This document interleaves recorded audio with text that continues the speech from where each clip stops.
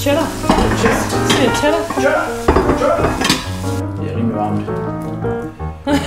Øj, det er varmt, Jamen så vent, vent. Hej med jer, og velkommen til DDW. Det er 2021 nu, og der skulle lige øh, laves en lille video til jer derude.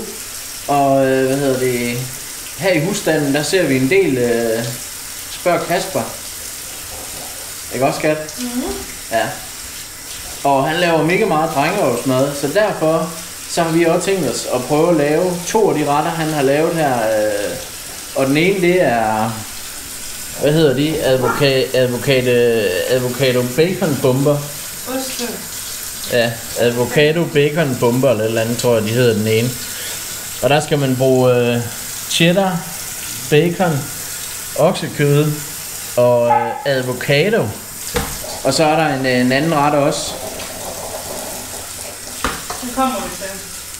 og den kommer vi til lige om lidt. Pelle han er der igen. Pelle er der altid. Pelle skal altid larme. Men sådan er det bare. Vi skal have tutsko. Jeg spørger Kasper, kalder øh, hans for træsko, så vi kalder Pelle for sutsko. Nej, sutsko. Jeg starter egentlig med at lige tage avocadoen her. Skulle du en eller anden helt tilfældigvis dag øh, falde over den her video, øh, Kasper. Tusind tak, fordi du laver så mange fede videoer og så meget drengerøvsmad. Det er voldfedt, mand. Så tager vi lige en kniv, og så skærer vi den lige igennem her. Det er sjovt, at der er sådan en stor kerne i. Skal vi lave et avocado-træ, skatter? Nå, men så prøver vi lige at køre skeen forsigtigt ned her. Omkring avocadoen. Lige får den til at slippe skallen en gang her.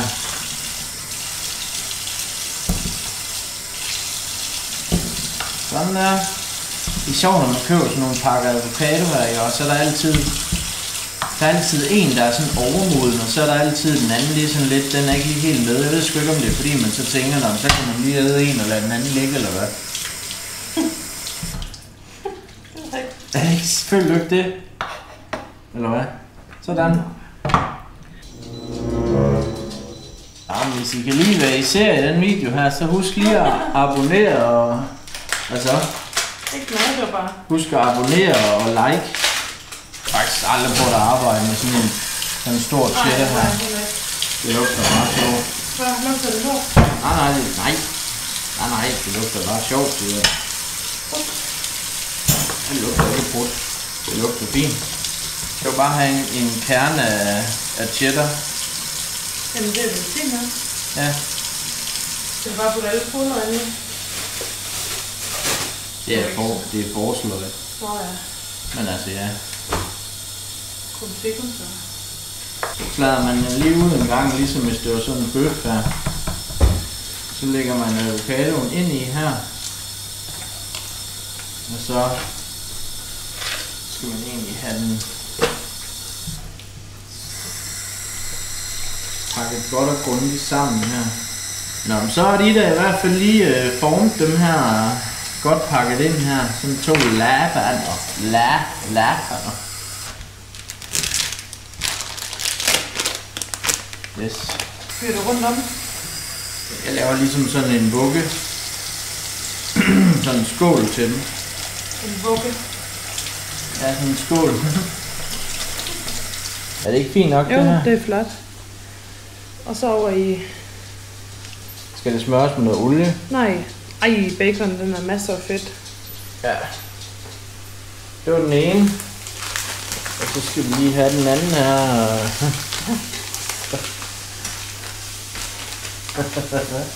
Men jeg kan vel egentlig godt afsløre øh, næste ret, eller hvad? det kan du godt da. Godt lige det, så står jeg lige og vikler den næste ind her. Der skal vi nemlig lige bruge kartofler og forsløg og bacon. Og kæse. Hvad er det for noget fisk, eller? Cheddar. Siger cheddar. Cheddar! Cheddar! Cheddar, cheddar! Siger cheddar til dig. Ja.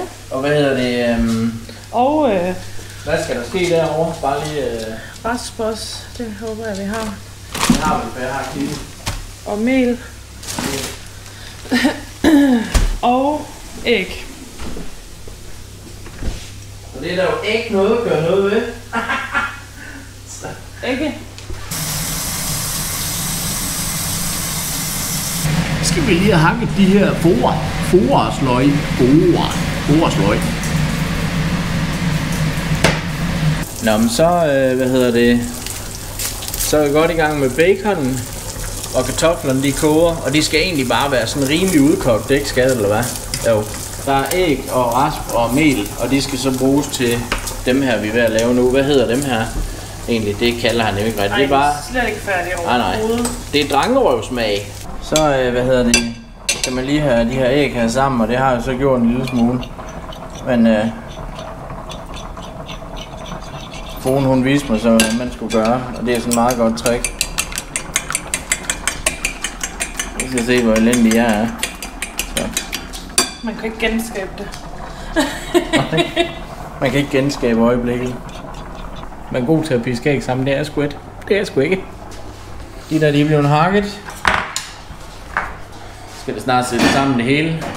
Og der vender vi tilbage. Yes we do.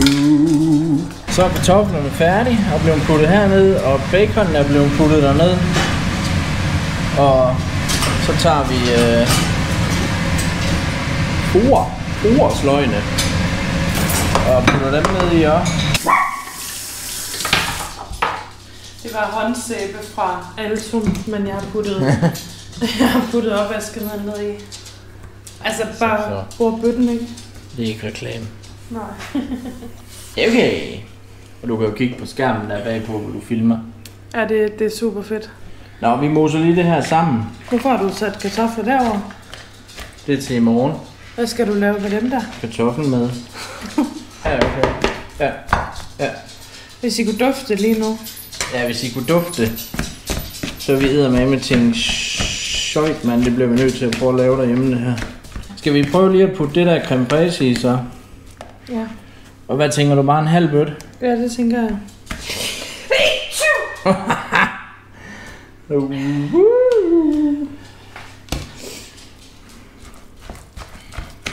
Prosit, tak. Prosit. Man skal altid huske at sige prosit, når der er nogen, der nyser, fordi så bliver man ikke forkølet. Og det er ikke øh, corona eller corona, eller hvad jeg kalder det. Det er bare øh, allergi over for, Over over for mig. for hobby. Vi tager lige... Det er rimelig varmt. Ja, okay. Det er rimelig varmt. Øj, det er varmt, Jamen så mand. vent, vent. Prøv bare lige at se. Vi kan da bare pensle dem med det. Nej, jeg bare, det skal nok gå det her.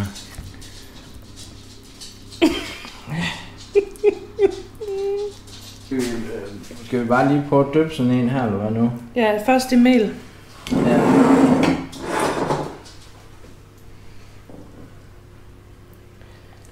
Og ikke sådan, altså halv pose mel, vel? Er det fint det her? Jeg tror, det er super. Og så æg. Ja.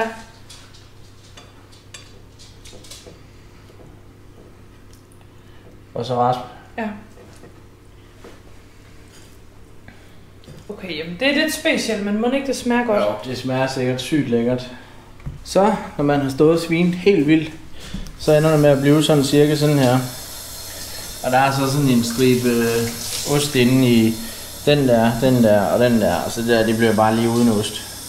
Men ja, så tager man lige noget olie. Og så lige forsigtigt henover. Kommer de bare lige ind og stå herinde under. Sådan der. Yes. Så skal det bare stå i, ja, jeg aner ikke hvor lang tid, men vi prøver lige med 20 minutter, og så ser vi lige, hvad, hvad det siger. Så er maden dones. Tjek det her ud en gang. Jeg ved man lige kan tage lidt her. Velkommen.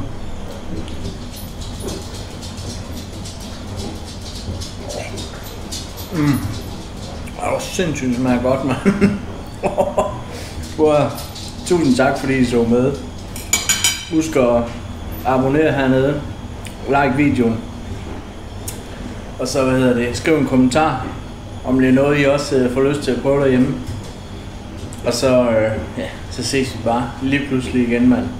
Hej med jer, Didi Woohoo!